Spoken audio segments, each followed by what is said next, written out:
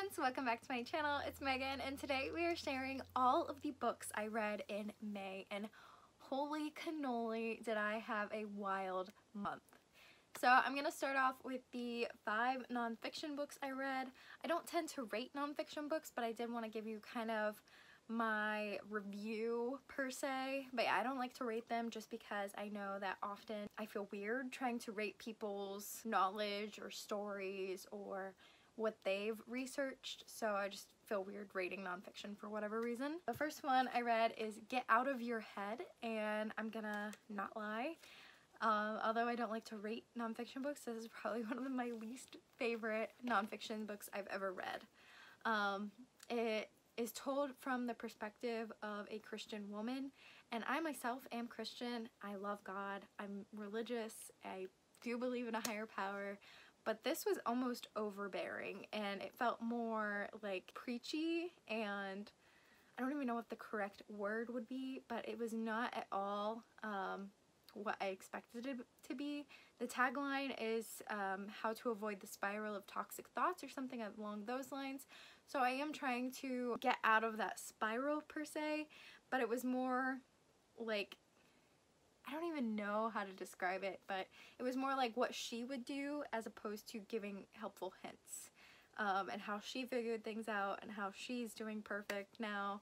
Um, not perfect, but she's doing better now. And it didn't at all really feel like it gave any hints.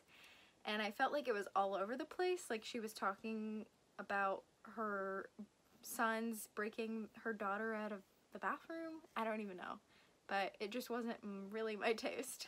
Next, I read Burnout, and I thought this was going to be the best book because I have been over committing entirely in my life, and I really thought that learning how to deal with burnout um, was going to be a great book and a great manual per se for me, but I really didn't gain any knowledge from this book. It was entertaining, and it did have some, I guess, helpful tips, but it's nothing that I didn't already know. I feel the same about When Things Fall Apart. Um, it was entertaining and I gained a few things from it, but it wasn't really giving me anything I didn't already know. I feel like you guys can see where my mental state is between all these nonfictions. Next was The Listening Path, and I actually really enjoyed this one. It is a six-week workbook, and I feel like I would have enjoyed it more and gotten more out of it if I had done it in the actual six-week time frame. But alas, I have checked it out from the library, and people were waiting for it, and I wasn't able to renew it, so I did have to do it um, in three days-ish. But I did gain some good knowledge from that one. And finally is Bad A Habits and this was definitely my favorite of the month. I actually gained quite a bit. I did, uh, it's a 21 day workbook, but I feel like I still gained everything I needed from it and I picked up a lot of great hints and I started my own habit tracking sheet in Google Spreadsheets, so that was definitely my favorite nonfiction book. Next, to get into some of the series slash sequels I've been reading, uh, I did do a reread of Wicked Fox by Kat Cho in order to pick up Vicious Spirits this month or June. Um, so I did reread this. I think I enjoyed it more on the reread, which is nice because it wasn't necessarily my favorite on the first read, but I do think I enjoyed it more on the reread slash audiobook version of it. So I'm interested to see how I feel about Vicious Spirits. If you aren't aware, Wicked Fox tells the story of a gumiho or a nine-tailed fox who is also a female named, I'm blanking on her name, uh, Mi Young. And she is trying to fit in with the human world, but this boy right here named Ji-hoon discovers her secret and it's basically like a I wouldn't say enemies to lovers, but friends maybe to lovers, and it was super, super cute. Next, I did a reread of one of my absolute favorites, Crown of Feathers by Nicki Pau Preto. I literally rave about this book all the time and Wings of Shadow is coming out in July so of course I did Crown of Feathers in June or sorry Crown of Feathers in May Heart of Flames in June and then I'll read Wings of Shadow in July. I mean you can see clearly how much I love this book. This is like all my annotations. I feel like I was doing every other page if not every page. It's seriously so thick with post-its and I just love it so much. It tells the story from three different perspectives. First we have Veronica who all she wants to do is be a phoenix rider. However the clan is only taking males so she has to disguise herself as a male to join.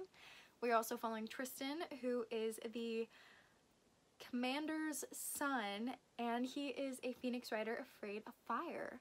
And finally, we are following Seb, who is an animage, which is basically like the slaves of the war, and he is actually also a soldier. So he's hiding his animage abilities while he's on the enemy side, and he's feeling a lot of guilt on both sides. So all absolutely stunning. Please, please, please, if you take nothing else from this video, read Crown of Feathers. Next, I did my reread of Crooked Kingdom by Leigh Bardugo, the sequel to Six of Crows. Same as last month when I talked about my reread of Six of Crows. I loved it just as much, if not more.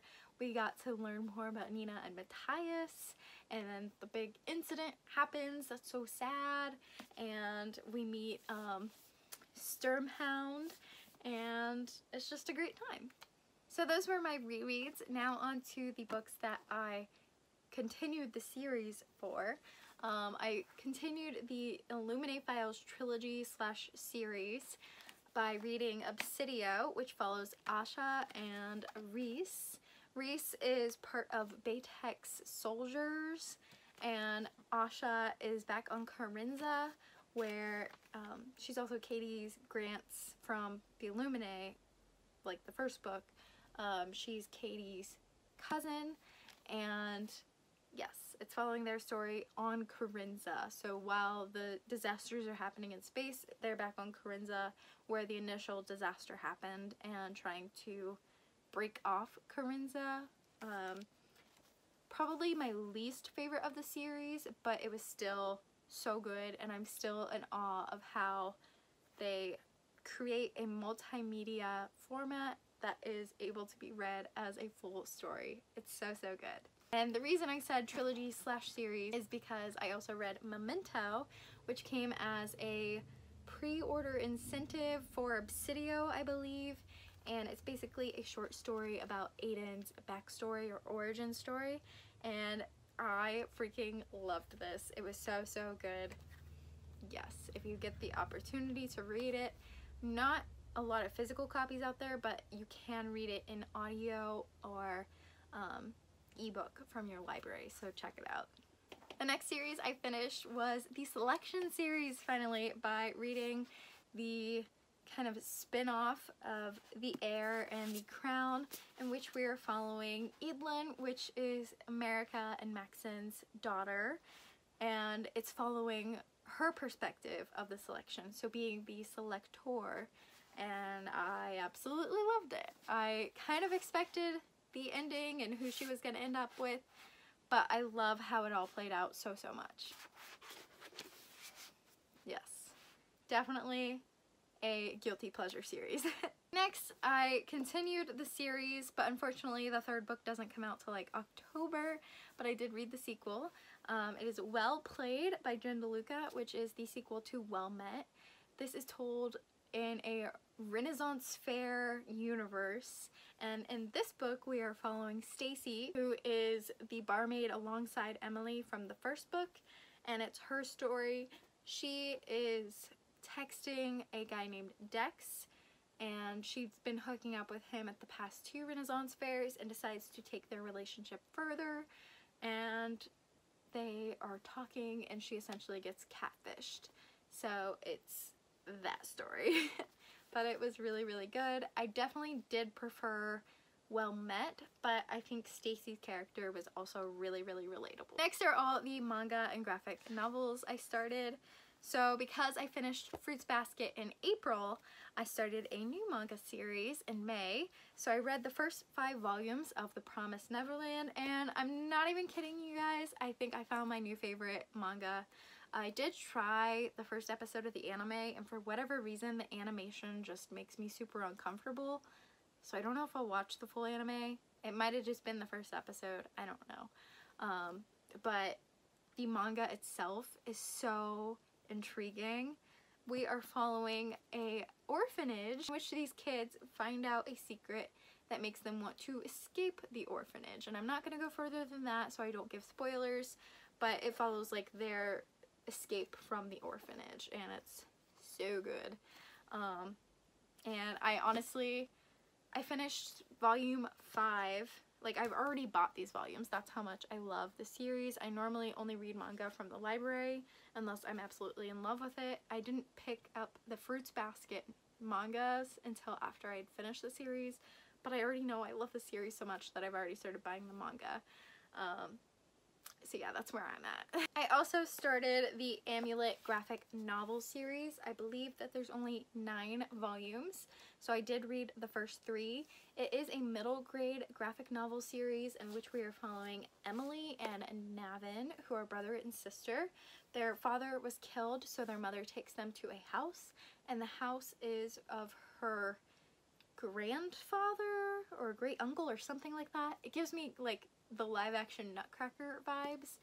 Um, and in the basement, it leads to a secret world where Emily um, becomes the owner of a amulet and a she is known as a stonekeeper and has power over this amulet and she is then tasked with beating the elf king and saving all these citizens from the elf king in this world uh, there's also a moving I don't know if you can see it, like a moving house, which gives me Howl's Moving Castle vibes.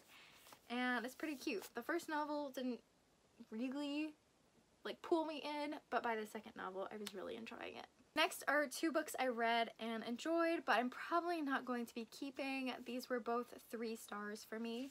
The first is The Kingdom by Jess Rothenberg, which is a dystopian sci-fi murder mystery and I was not expecting it to be as dark and heavy as it is but we are following one of the cyborg princesses and one of the other cyborg princesses was murdered and has gone missing so she's on the hunt for what happened. And then I also read I Hope You Get This Message which is a dystopian sci-fi contemporary and we are following a world in the future in which aliens are about to eradicate the human species and they are going through a like like they're in court to decide whether or not to eradicate the human species. And then we're also following three perspectives Jesse and Kate and Hadim. Hadim is a amateur ham radioist in search of his sister. Jesse is like a punky gay guy that is trying to learn about his identity but also make money so that his family doesn't go homeless. And then Kate is a girl whose mother is schizophrenic and she's on the hunt for her dad. So it's basically their stories and how they're dealing with the last days on earth. Both were good. I don't really have strong opinions either way. I probably will never read them again, so that is why I'm going to unhaul these two. Next, I read an adult romance, Olivia Dade's Spoiler Alert, in which we are following Marcus, who is the lead actor in a mythology-inspired TV show that is kind of taking a turn for the worst and really navigating away from the true plot and true character arcs of the book series because it is based on a book series and so he writes fan fiction and has a secret identity on this fan fiction site as correcting the mistakes of the TV show. And then we're also following April, who is a geologist and is also on this fan fiction site. And they know each other through the fan fiction site, but not in person until one day April posts a picture of herself as Lavinia, which is the female character that Marcus's TV show character was supposed to end up with, uh, but did not. So he likes the photo on Twitter, and then there's like backlash because April is a plus size woman. So Marcus takes her out on a date to calm down the haters, and they end up falling in love, but they she doesn't know that Marcus is also the fan fiction guy so it's interesting and it delves into a lot of like how to deal with someone's secrets and someone's past and um, there's a lot of emotional baggage in this book. But I really enjoyed it and yeah, I can't wait for the sequel, which is following one of Marcus's co-stars. Next, I read The Kingdom of Back, which is a historical fiction fantasy. Uh, this is by Marie Lu, and it is following Mozart's sister.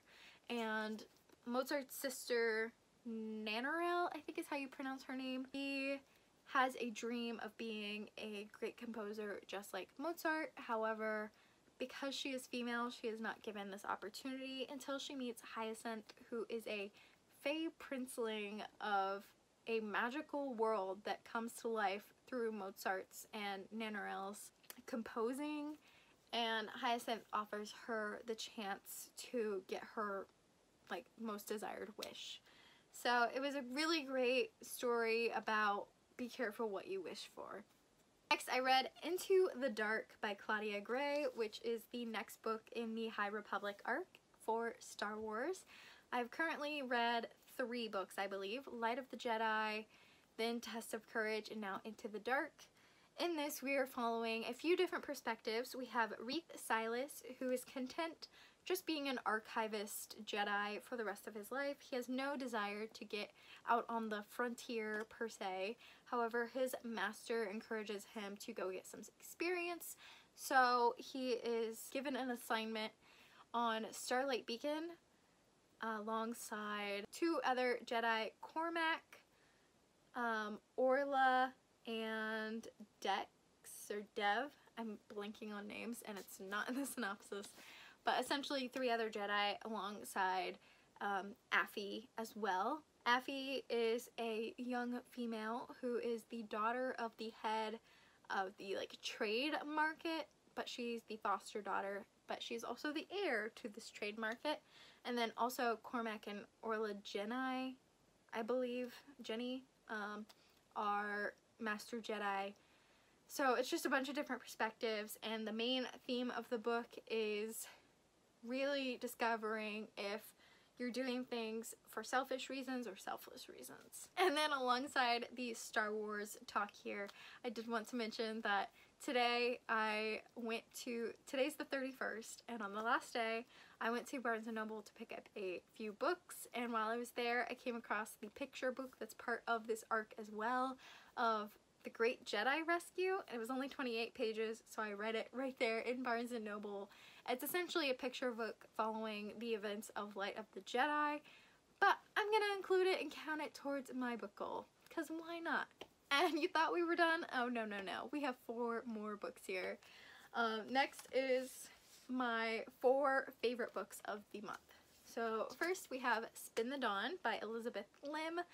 This is pitched as Mulan meets Project Runway. However, I don't know if that's the best pitch for it because the like dressmaking competition only encompasses about the first half of the book. However, we are following Maya who is always dreamed of being the Emperor's tailor. However, because she is female, she is again not given this opportunity.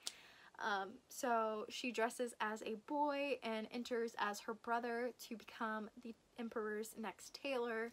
So the first half of the book is the competition and then the second half of the book is the final trial.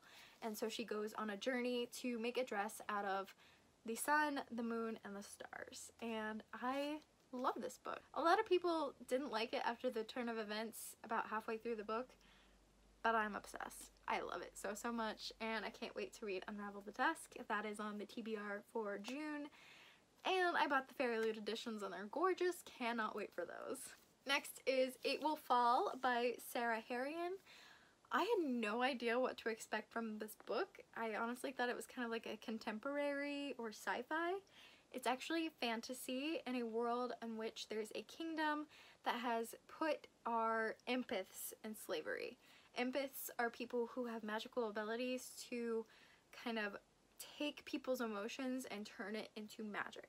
So they can take like fear or anger and turn it into destruction magic. They can take love and turn it into healing magic, that sort of thing. But yeah, the empaths are put in slavery until one day they are sent into the rift, which is like a huge like cavern so big that 10,000 soldiers got lost in it and are assigned the task of going in and killing the like demon king to stop this destruction magic from taking over the kingdom. So it's their story.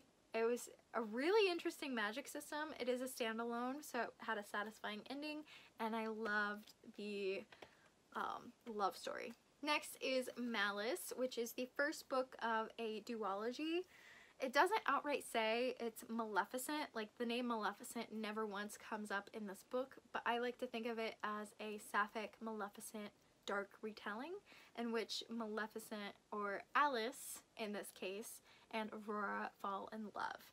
So in this kingdom, there are graces, and the graces are known for their healing and beauty and knowledge and music and um, passion and pleasure gifts, whereas Alyce was born half villa and has been blessed or cursed in their case with dark magic so she can only wrought destruction but Aurora is not your typical sleeping beauty which I really really liked. She's given more agency and a storyline essentially. So I really like this version of Aurora.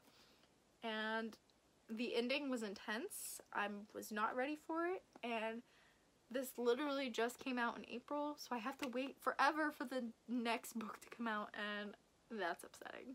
But it was good. this was actually the very first book of my brand new YA book club, which is a monthly club where we read YA books and discuss them together. I am in collaboration with a small indie-owned bookstore to do this book club and you get a lot of perks through the bookstore. You might be entered for advanced readers copies or ARCs as we call them. Uh, you get 15% off for books. You get $5 off the book club picks as long as you attend a meeting. If you are interested in joining, please let me know and I'll send you the Facebook group link. And finally, the best book of the month and might be my favorite book of the year, might be one of my new favorite books of all time is An Ember in the Ashes by Sabaa Tahir. In this we are following two different perspectives. Laia, who is a scholar or like the lowest class of this empire and her family was like brutally murdered in front of her. Her brother was taken from her and her only hope of gaining him back is to seek out the resistance and see if that they are willing to help or aid in her rescue of him. However, in order for them to agree to rescuing him, she is tasked with becoming a spy for the Blackcliff School, which is where the Empire masks or soldiers are trained. And she is tasked to be the slave of the commandant, which is like one of the most heartless, cruel, cold-hearted, like female character villains I've ever read. And so she's tasked with being the slave for her. Uh, so it's Elias experience with that. And we're also following Elias, who is the son of the commandant and has been raised as a mask. However, he has no desire to be part of the soldier empire. He just wants to be free. He's actually about to run away when he is told that he is one of the top contestants or one of the contestants to enter the trials to become the next emperor. So it's got school, it's got uh, trials, it's got like competition, it's got enemies to lovers romance, it's got two love triangles that actually work really well.